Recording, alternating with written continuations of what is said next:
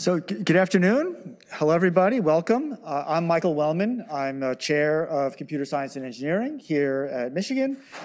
And it is my privilege to introduce our distinguished lecture speaker today.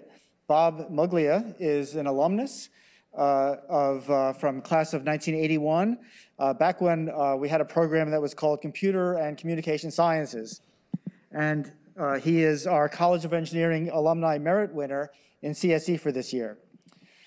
Bob has had a successful career creating software products and will share some of the things he's learned in the business with us today. Uh, Bob was CEO of Snowflake for five years, starting in May 2014. Prior to Snowflake, he spent two years at Juniper Networks and 23 years at Microsoft. Early in his career, Bob helped to start the SQL Server business, and he managed Microsoft divisions including uh, Visual Studio, Office, and Windows Server. From 2007 to 2011, Bob was the president of the Server and Tools Division, growing that business to over $17 billion. Bob currently serves as a board director for Fivetran, Fauna, Docugami, and Julia Computing. Please join me in welcoming Bob Muglia to CSE.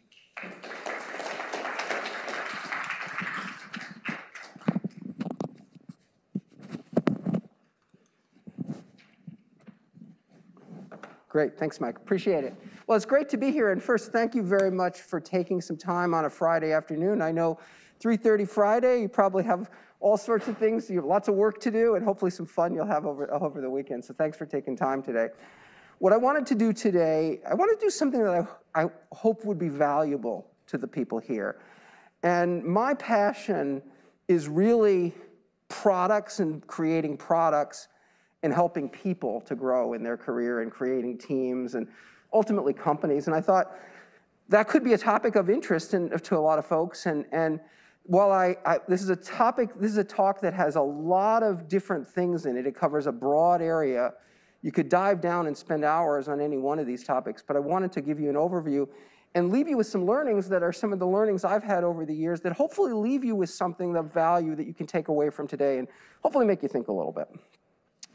So my career, quickly, uh, I graduated in 81 here at Michigan. Uh, I spent seven years at ROLM in the Bay Area. ROLM was a telecommunications company building PBXs then. I then, my wife and I then, Laura Ellen is here with us, uh, uh, went up to Seattle and, and it was really Laura that helped to, to get us to Microsoft. She was the one that really drove us to get there. And we were fortunate enough Laura had the insight that the PC and applications together would be the future in 1987, and that drove us to Microsoft. And she worked there for a number of years, and then I spent 23 years there doing a number of different things. And then following that, I was at Juniper Snowflake, uh, five years at Snowflake.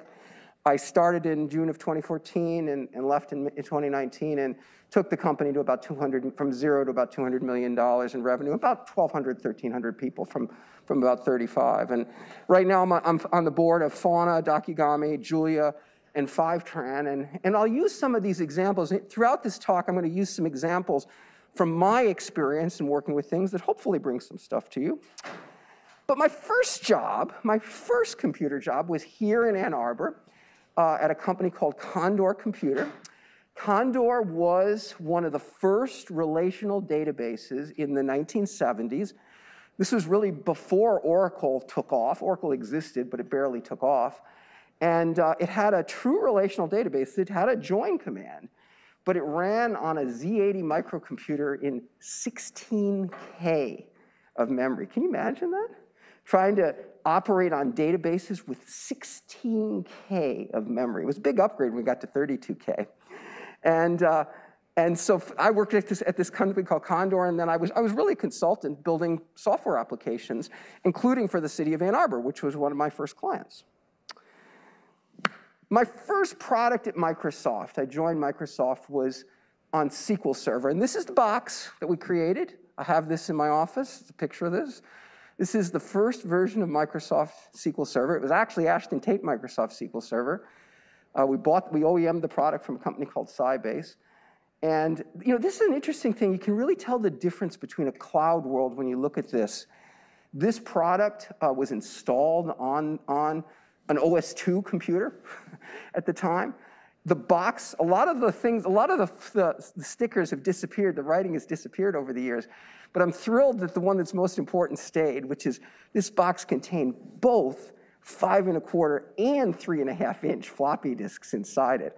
And to give you an idea, there were 72 floppy disks inside that box and about 10 pounds of manuals. Now think about that in the cloud world and think about how different it is to distribute software and work with your customers and your feedback loop on your customers, how different and how isolated you were. Because there were distributors and value-added resellers that installed the software. You were so distant from that. But I put that box together myself. I, I, loaded the software on all those floppies. It's the only production software I ever wrote at Microsoft. But uh, this was the beginning and of the auspicious beginning, unauspicious beginning of SQL Server way back when at Microsoft. In my career, I've had some hits and misses, uh, some great products like SQL Server, Visual Studio, Windows NT, uh, System Center, and then Snowflake. Uh, I'm pretty proud of the work that the teams did there and was pleased to be able to help folks. Probably more important, though, is I've had plenty of misses. I've made a lot of mistakes in my career. I've learned, hopefully, from them. Some of my misses were things like NetDocs and, and Cairo. Those were projects that were ahead of their time at Microsoft. NetDocs was a new version of Office that was written uh, in the web. Kind of, there was this thing called Google Docs that came around later that did it right, but we tried it at that time. And uh, Cairo OFS was the really early versions of what Microsoft was trying to do with information and getting access to information everywhere. We called it information at your fingertips. And those were, those were ahead of their time. Um, but probably more interesting is the DOJ lawsuit. If you, is anyone familiar with that, that Microsoft was, was sued by the government in the early 2000s? Well, I was very directly involved in that. I was one of the 12 witnesses that, that testified. My wife and I were in DC together. We recall it well. It was pretty nightmarish. You come out changed in something like that. And, and part of that is you realize the importance of values. I learned a lot. We made some mistakes at Microsoft. We didn't do everything right. And we learned a lot and the company changed, and it's doing very well right now. Certainly, Satya has taken it in a great direction. But these things change you. You learn about what's important in life. So I'm going to use this structure throughout the rest of the talk to talk about building products and companies. And this is an idea that there's a set of phases that every product, every product goes through, regardless of the size of the company. Every product is born, and someday it dies. Products don't last forever. Companies don't last forever either. They may last longer than products, but there's a life cycle associated with that. It starts with incubation, creation. You have to mature it, grow it. If you do your job right, you hit leadership, and then ultimately you decline. This picture shows a straight line. That never happens. Never. It's never that simple. Even Snowflake, which was pretty much as close to that straight line up as you can get, we had our setbacks. At one point, I went out to raise money and I got 24 no's from VCs. Everyone said no at the time. So nothing is this simple. But it's a good, it's a good structure to think about things. The beginning, it starts at the beginning when a founder has an idea, or a, a, a developer, or anyone in a big company, an idea for a new product. What could this product be? And the first question you need to answer in thinking about whether this is a good idea to go spend your life on is what's the impact that this will have on the world if we do this? Is it taking something in an existing market and replacing it? Is it totally new and is it totally different? Whatever it is, what kind of impact does that have on your customers and on the people who'll be using the product? That's called total addressable market. How big is the market opportunity for what you're building? This is a slide from Gartner, it's on the web. It explains a little bit, I like it because it says that, hey, your actual potential market segment opportunity, as they talk about it, the, what you can actually tackle is actually probably quite a bit smaller than what you think it might be. And the question is, is that going to be something of great value to organizations? And is it worthwhile to build this thing and, and and put, your, put so much energy into it to create something that others hopefully will use. Now, in the case of Snowflake, it surely was. Snowflake went into a market. The market for Snowflake is called data warehousing. We were the first built for the cloud data warehouse, so we were distinguished because we scaled. But there was an existing market. It was called the on-premises data warehousing market. And, and, and IDC and Gartner estimated those markets at about $13 billion. Now, I knew it was actually bigger than that because I knew the cloud would expand this. And this is a slide off of Snowflake's that Snowflake just had at their last earnings call. That 14 billion number, which is what I went out when I got those no's in 2016 talking to those VCs, I was talking about this number. They didn't believe me, by the way. They thought Amazon was going to kick our tail. Um, but now they talk about this number because they see the market is bigger. Now they're in the cloud and they see a broader opportunity. And then when they look at all of data and what's happening analytics, they see an even bigger, bigger market opportunity. And when I talk about market, I want to emphasize that what I'm talking about really is, is the utility or the value of what you're delivering. Is it valuable to your customers or not? Will they adopt it and will it change the way they live their lives and do business? And it's measured in dollars because it's a good way to measure things, but it's not really, at least for me, it was never about the money. It's not about the money, it's about what value or utility you're delivering. And sometimes these indicators, in fact, market indicators are the best indicator of value delivered. But it's important to remember that besides the market opportunity, the what, there is always a how about how you do things. It's one of those lessons I learned really early. There's the what and there's the how. And the how is about company values.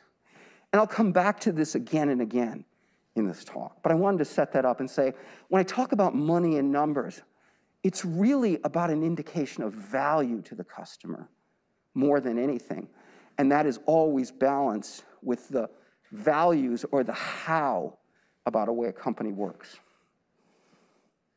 The beginning of what you're trying to do is to create something that's known in the industry as a minimum viable product. The minimum thing that a customer will buy, write a check for. That's the minimum thing you want to create, and you want to start very narrow because you only have so many resources. And the relationship between a product and a customer is like this.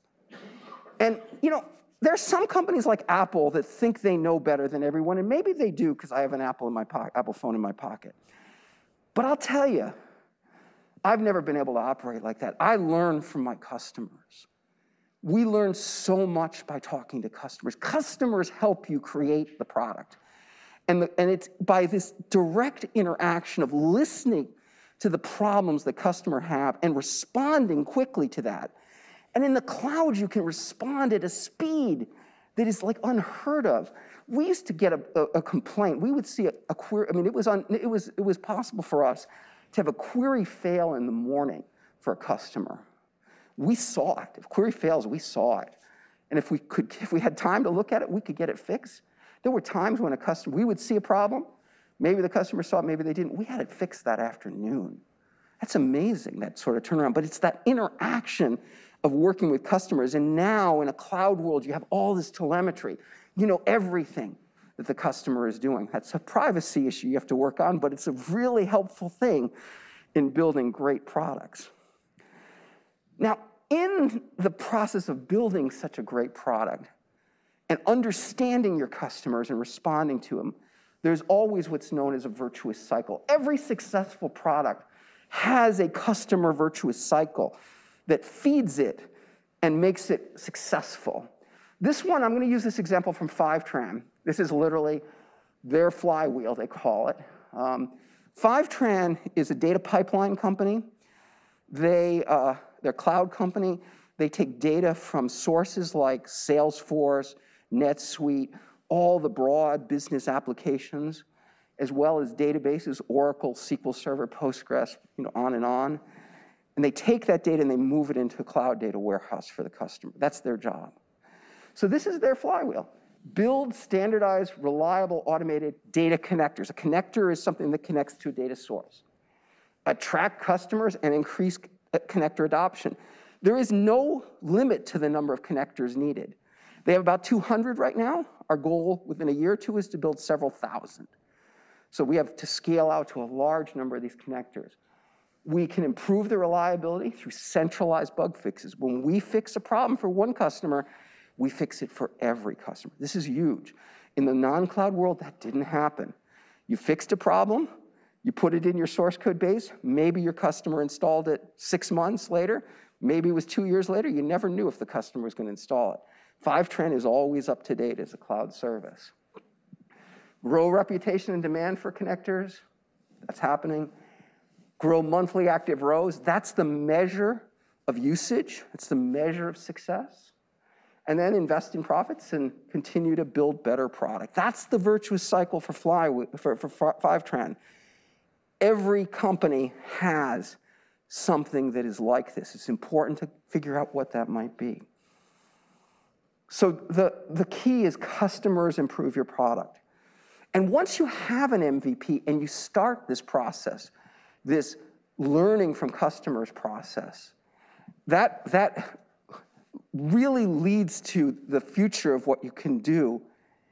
And it's interesting to see the kinds of products that catch on. What is it, what, what is it that makes things so successful?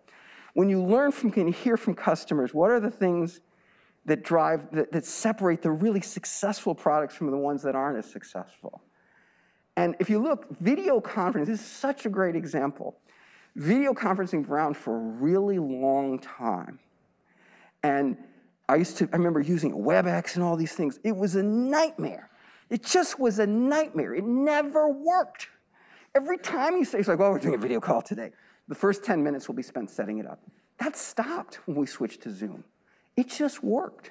That's what, why is Zoom so successful? Because it works.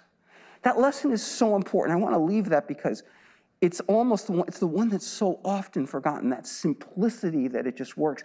And they've been rewarded incredibly well. Now, again, I'm using market cap as an indicator of utility here, of value delivered. And that's a way to think about it. Market cap is a great indicator. In fact, I'd argue it might be the best indicator of future value expectation, expected value creation. And in fact, the market measures that every minute of every trading day in the business, and you can kind of get an instantaneous look at this. So these measures are really good things to measure value. And as you, if you're successful and you build something that it begins to take on, you can start to invest with the growth you expand your sales team, you expand your engineering team, and those are the two growth engines of any business, any tech business. The engineering and product team builds the product, and they're the heart and soul of what the product is. And the sales and marketing team are the team that really connects directly with customers and sells to customer. Every other group is important. They're all critical in this process, but those are your two engines of growth that really drive companies. And here it's important to emphasize that the attribute that drives growth is performance. And the measurement that Wall Street looks at is clearly revenue and future revenue potential, future earnings potential. But there's another side of this that's really critical to the success of companies, and that's the value side, the how things get done. And, I, and, and at this point, when a company is at this point in their life cycle, they need to have established their values. And they need to have those in place as they build their team. You can do it a lot earlier. I have some companies that do it really in that incubation process, even that early. We weren't that early at Snowflake. We did it really while we were in the learn from the, the, the, the learning from customers phase. That's where we sort of took it before we got this far along but values become very important as a part of how companies operate. If you are successful, and that is a big if, because 99% of products are not successful. They fail, by the way, most products fail in the very early stage because they miss the market and there is no TAM, and, or they're mismanaged. I mean, mismanagement is everywhere. But if you are successful, you can become a category leader. And these are some examples of category leaders. They have succeeded in, in, the, in hitting the top of the pyramid for, for their category. And it's sort of what you really hope for with any product. And at that stage, and by now these companies are typically, they're typically public companies, so they're available for people to purchase, and they're very, very closely watched as a result of that. What the investors care about is maximizing and, and, and being able to achieve profitability. But there's, again, I'm going to say there's always a balance here, and you have, and often you have to push back against investors because you want to invest in things that will drive the next phase of your business. Some, some folks like Amazon were super successful at that.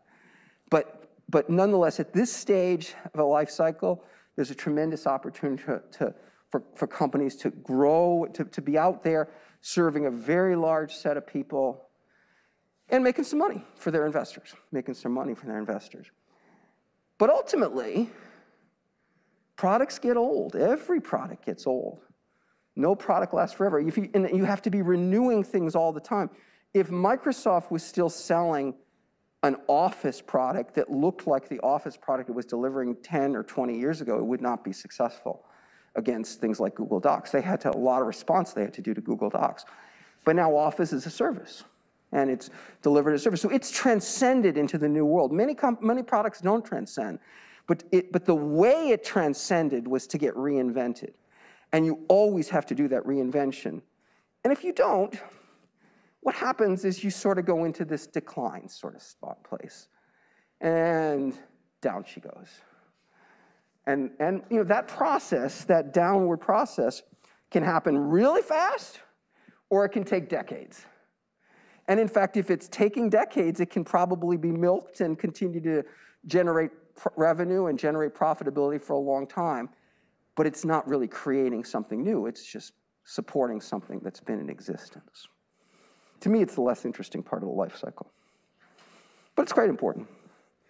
Sort of the bottom line on this is customers help to create the product.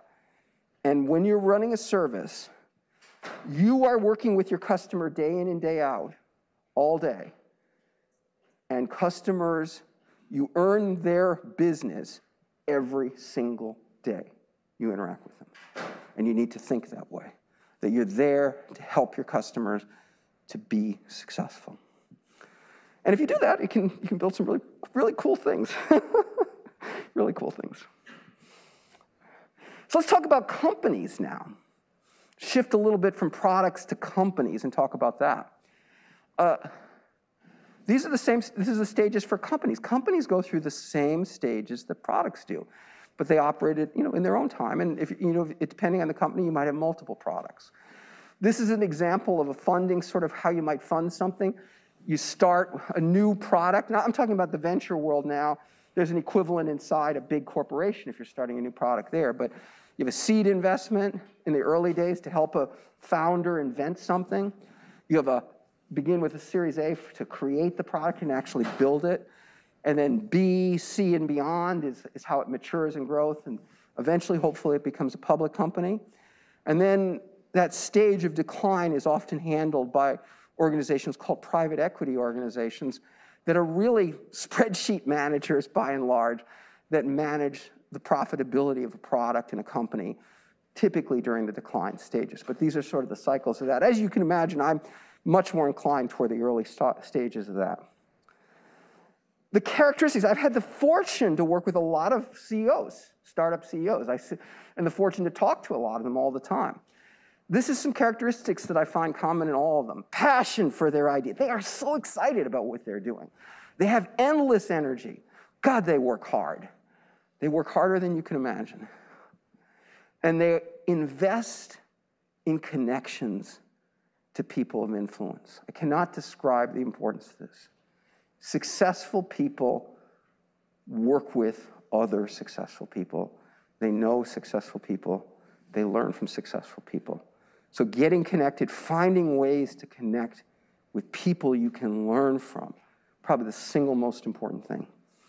Great CEOs are fantastic recruiters. They can, they can recruit, they're great salespeople, actually, and they're, they're actually strong leaders. What is a leader? Leader is an interesting thing. What is a leader? Pretty simple, really.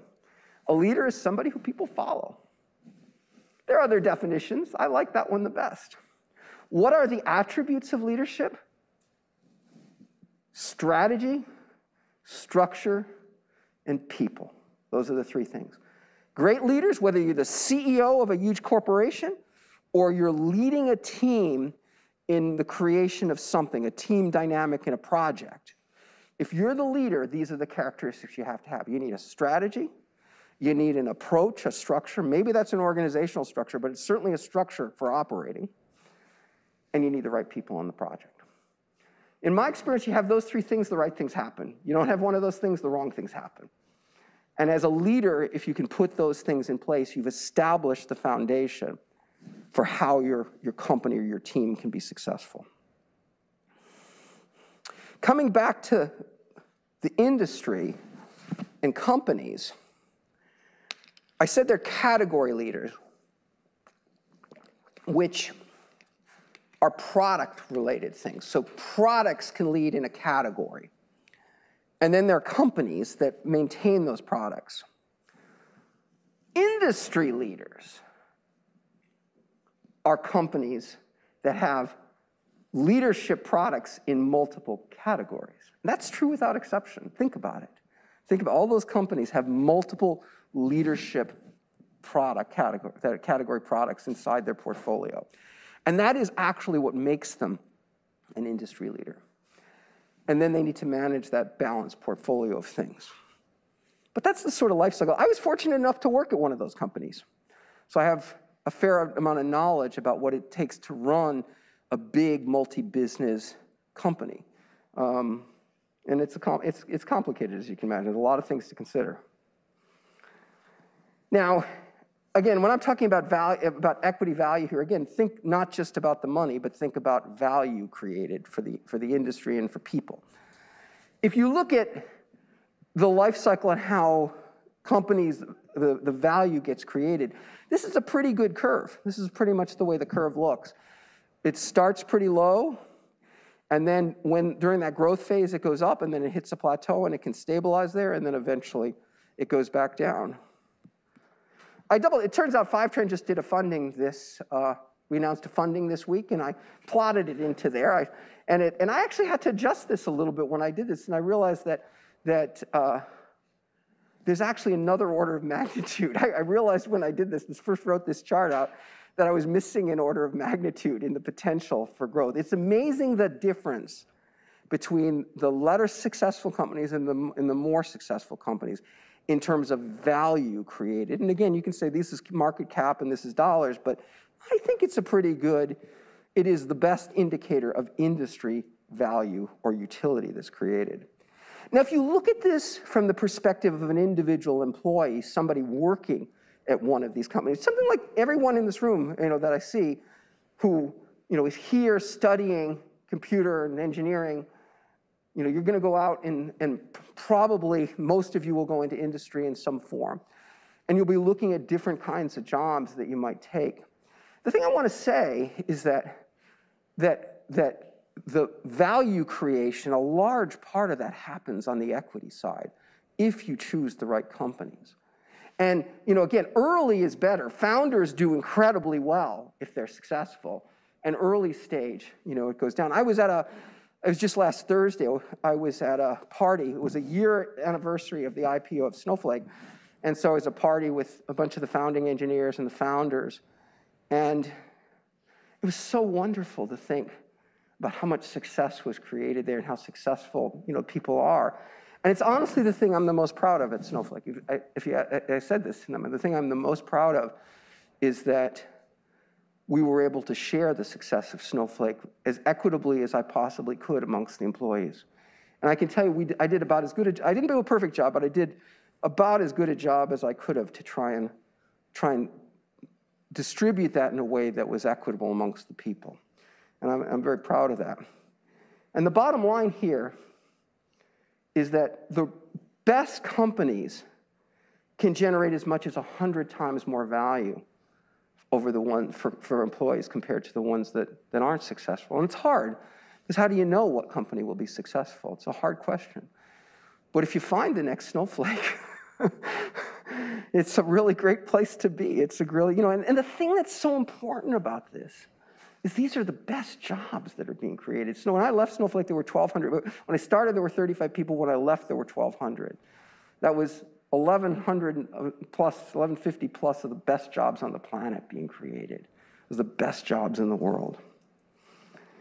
And, one, and I'm going to go back to a lesson I learned long ago. I'm going to go all the way back to ROLM here and learn this lesson. Is that I used to work on a product called CBX. That's the product we built. It was actually an earlier version of this than this. I couldn't find a picture on the web of the early one.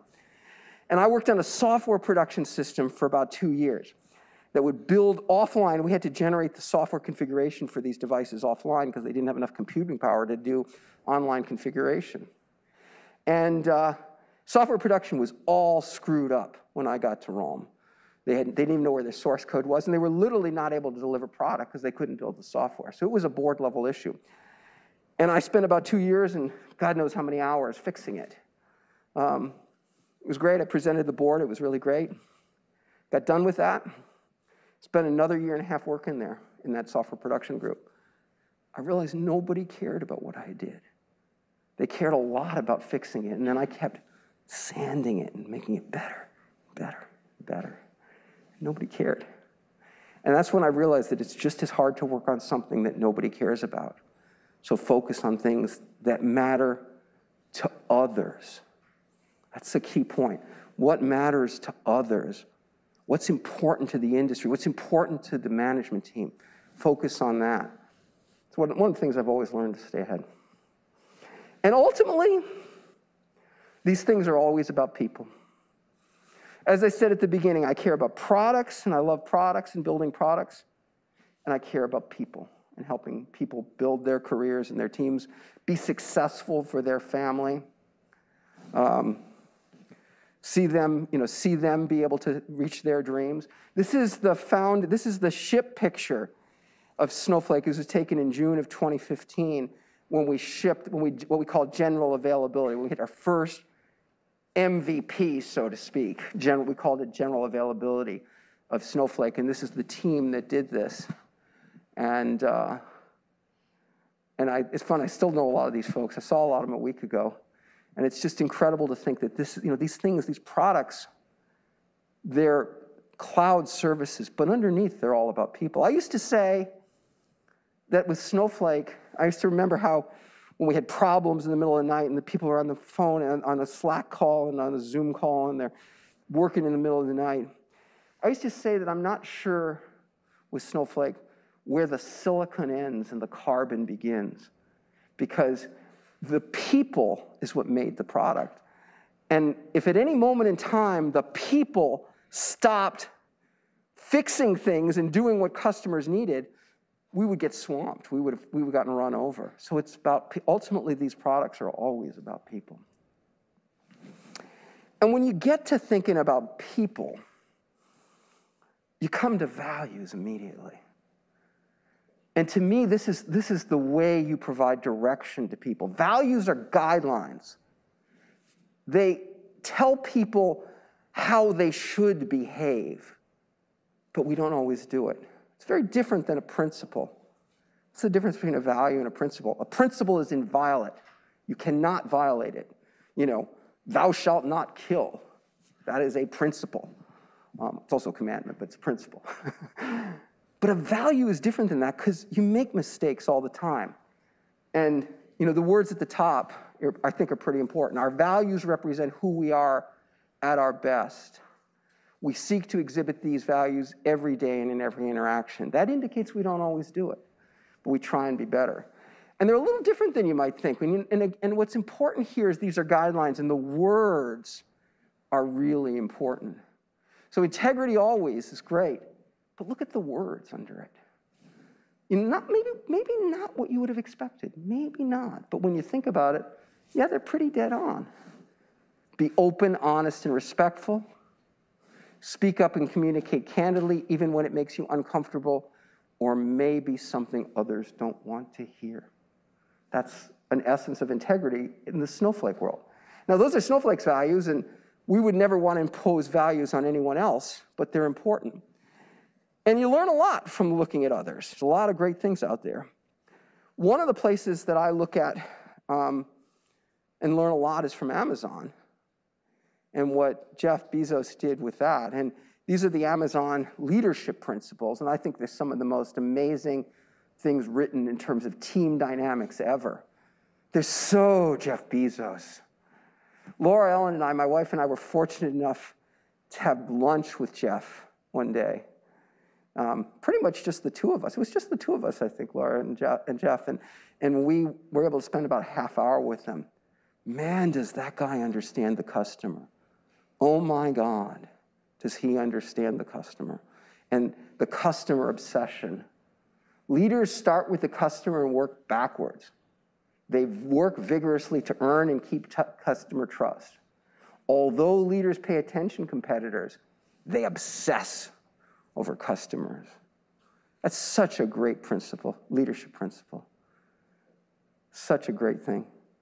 Um, and, and to me, I mean, these are values, essentially. These are values. And, and the top, we use our leadership principles every day, whether we're discussing ideas for new projects or deciding on the best approach to solve a problem. It is just one of the things that makes Amazon peculiar. That's pure Bezos. But it's really important in the essence of that company. The reason, one of the reasons that Amazon is so successful is because these principles, these leadership principles, are imbued in the people at Amazon. You talk to an Amazon employee, they talk about leadership principles. Talk to a Snowflake employee, they talk about values. They're really important. And the reason they're so important in tech companies, why are tech companies different? Because we are building systems where the values of the organization are part of the product. Human values are encoded into cloud services.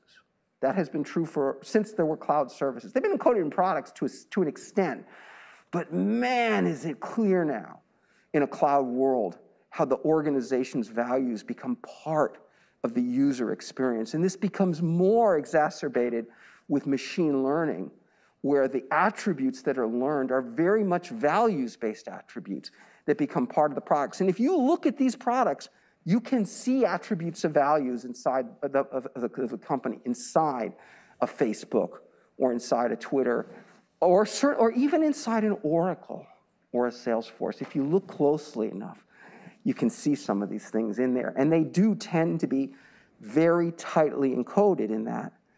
And of course, because they impact so many people, they are in fact part of society and therefore judgment is passed on it. And there's a balance in every company between that performance based side that's generating revenue and driving the next business result and the values of the organization behind it. And that those two must stay in balance in some form. This is the what and the how, and those two work together to build the success. And as I've thought about this, I've thought about how that balance is interacted, and I thought about different ways to draw it, and I decided to draw it like infinity because I think it's infinitely related to each other. And there is constantly a balance that is happening between the drive for performance and results and the values inside the organization. And in today's world, employees and society judge the values of successful tech companies and competition and a changing technology forces organizations to constantly reassess how they take their values and they apply that to new technology and new products that are being built. And those two are always interrelated in some way in, in every tech company. And it's interesting to think about that. And it's crucial to consider it as companies are built and as their organizations take shape and, and are formed. And so I'll leave you with one final thought today, and then we'll have some time for questions, which is in this balance, you know, it's about the what and it's about the how, and it's really about the, the, doing the right thing and doing that thing in the right way and keeping that in balance. And then I'll add to that and say, that if you make a mistake, which you will, own it and fix it and learn from it and be better. In my career, I've made a lot of mistakes. I've had some quite a few setbacks, some pretty big ones too, pretty big ones, pretty big setbacks. And I guess what I'm probably most proud of is every time that's happened, I pick myself up. Not always easy, but I pick myself up. I've tried to learn from it, taking the time to learn from it. And I think I've been better. I believe I've gotten better. I'm a better person, and I, I can work and be more effective as I go on from the mistakes I've made. Because we all will. We will all have success of some form, and we will all have failures of some form. And I think what really distinguishes things is learning from those failures and being better from it. So, with that, I thank you very much, and I'll be happy to take any questions you have.